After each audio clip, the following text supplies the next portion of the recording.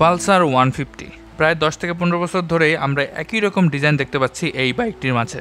অর্থাৎ বলতে পারেন, ডিজাইনগত দিক থেকে খুব একটা পরিবর্তন করা হয় না, শুধুমাত্র কালার কম্বিনেশন বা গ্রাফিক্সে পরিবর্তন করে বারবার বাংলাদেশের বাজারে লঞ্চ করা হচ্ছে।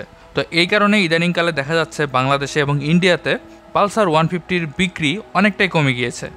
ইন্ডিয়াতে বাজাজ কোম্পানি অলরেডি ঘোষণা করে দিয়েছে, পালসার ওয়ান ফিফটির নতুন একটা ভার্সন খুব শীঘ্রই আনতে যাচ্ছে। তো সেই নতুন পালসার ওয়ান ফিফটি বাইকটা কিন্তু অনেক পরিবর্তন করা হবে।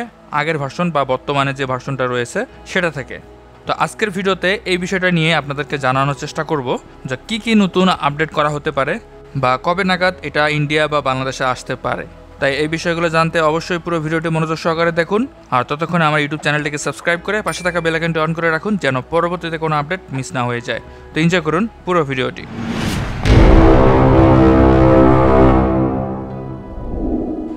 ইন্ডিয়াতে ইতিমধ্যেই দুটা নতুন পালসার বাইক লঞ্চ করা হয়েছে। একটি হচ্ছে পালসার এন টু ফিফটি এবং পালসার এফ টু ফিফটি তো দেখা যাচ্ছে এই দুটো বাইকে ডিজাইনগত দিক থেকে ব্যাপক পরিবর্তন করা হয়েছে।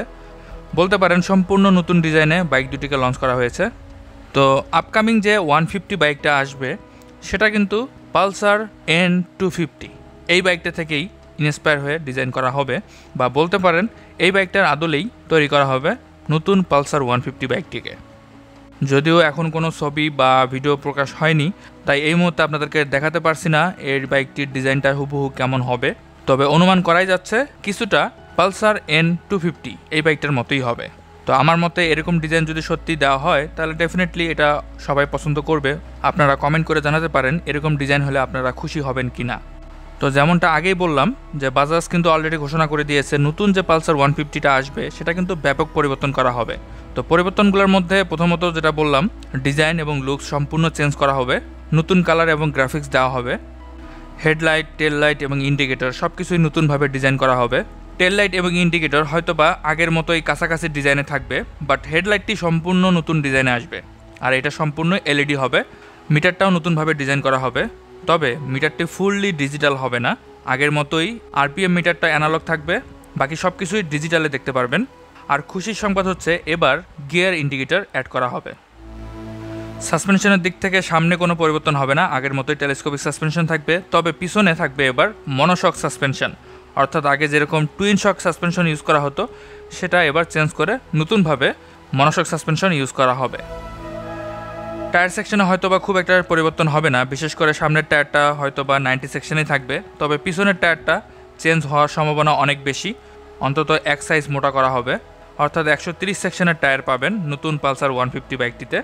এতে করে হাই স্পিডে এবং কর্নারিং করার সময় বাইকটি অনেক বেশি স্টেবল থাকবে।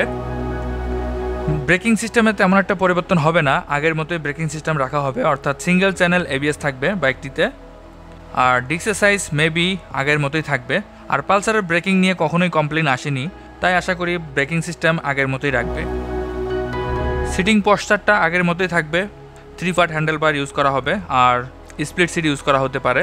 তবে পিলিয়ন কমফোর্ট কিন্তু যথেষ্ট ভালো থাকবে, অর্থাৎ কাটা সিট হলেও পিলিয়ন সিটটা যথেষ্ট বড়ই থাকবে, আশা করি। তবে সব কিছু চেঞ্জ করা হলেও ইঞ্জিনে খুব একটা পরিবর্তন আসবে না, অর্থাৎ আগের ইঞ্জিনটাই হয়তো সামান্য পাওয়ার বৃদ্ধি করা হবে রিটিউন করে।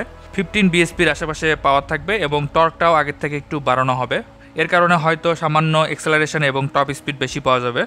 আর যেহেতু নতুন করে রিটিউন করা হবে, এই কারণে কিন্তু আগের থেকে আরও বেশি রিফাইন মনে হবে ইঞ্জিনটা অর্থাৎ রাইড করার সময় ভাইব্রেশনটা অনেক কম পাওয়া যাবে এবং সেই সাথে অনেক বেশি স্মুথ মনে হবে। তো মোটামুটি বোঝাই যাচ্ছে বাইকটা সম্পূর্ণ নতুনভাবে ডিজাইন করে আনা হচ্ছে এবং অনেক কিছু পরিবর্তন থাকবে। আশা করি আপনারা সবাই সন্তুষ্ট হবেন এবার পালসার ওয়ান ফিফটির নতুন ভার্সনটি নিয়ে। তো এবার আসি, বাইকটা কবে নাগাদ আসতে পারে বা বাইকটা আসলে কেমন প্রাইস হবে? তো প্রথমে প্রাইজের কথা বলি। তো যেহেতু অনেক কিছুই পরিবর্তন করা হচ্ছে, তাই অবশ্যই আগের থেকে অনেকটাই প্রাইস বৃদ্ধি পাবে। ইন্ডিয়াতে অন্তত পাঁচ হাজার রুপি থেকে সাত হাজার রুপির মতো প্রাইস বৃদ্ধি করা হবে। অর্থাৎ এটা যখন বাংলাদেশে আসবে, তখন ডেফিনেটলি দশ থেকে পনেরো হাজার টাকার মতো প্রাইস বৃদ্ধি পাবে।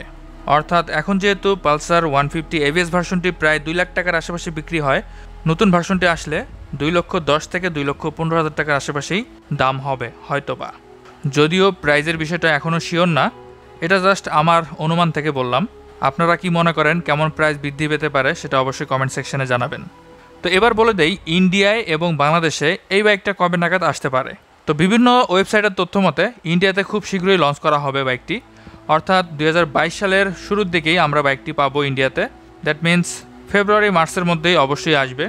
ইন্ডিয়াতে বাইকটা লঞ্চ হওয়ার পরে অন্তত আরও ছয় মাস সময় লাগবে বাংলাদেশে আসতে। সেক্ষেত্রে আমরা বলতেই পারি দুই হাজার বাইশ সালের শেষের দিকে আমরা বাইকটা পেতে পারি। তার মানে আমাদেরকে অন্তত সাত থেকে আট মাস সময় অপেক্ষা করতে হবে। তাই যারা এখনই পালসার বাইকটা কেনার চিন্তা ভাবনা করছেন না, তারা অপেক্ষা করতে পারেন। আর আমি দেখতে চাই এই নতুন পালসারের জন্য কারা কারা অপেক্ষা করছেন, তারা অবশ্যই কমেন্ট সেকশনে জানাবেন। তো আমার কাছে যতটুকু ইনফরমেশন ছিল সেটাই আজকে আপনাদের সাথে শেয়ার করলাম।